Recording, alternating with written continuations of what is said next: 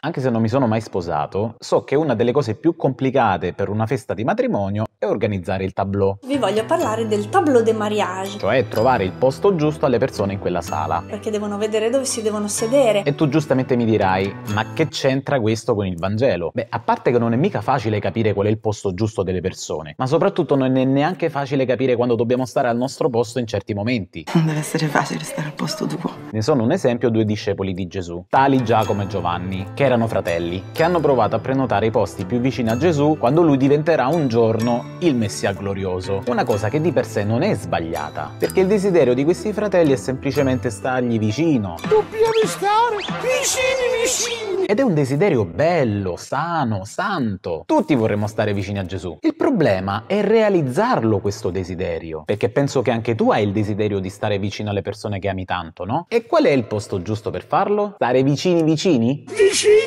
vicini. Per fare un esempio, pure io amo tanto i miei genitori, ma che significa? Che devo stargli accanto tutti i giorni? Voglio proprio. Direi proprio di no perché la mia scelta è stare più vicino agli altri e non posso neanche stare vicino a tutti perché scontenterei sicuramente qualcuno e infatti gli altri dieci apostoli saranno infastiditi da questa richiesta dei due fratelli pensando Perché lui può e io no? quindi ripeto la domanda qual è il posto giusto nelle tue relazioni? L'amore che ci trova sempre al posto giusto.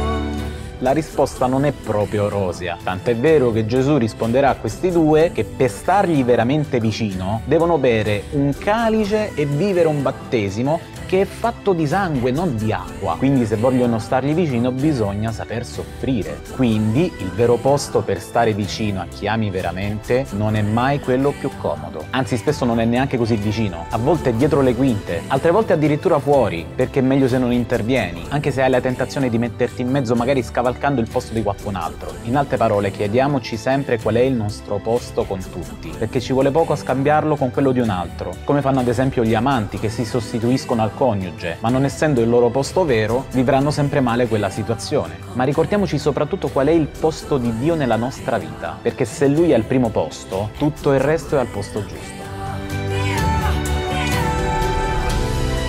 L'amore che ci trova sempre al posto giusto.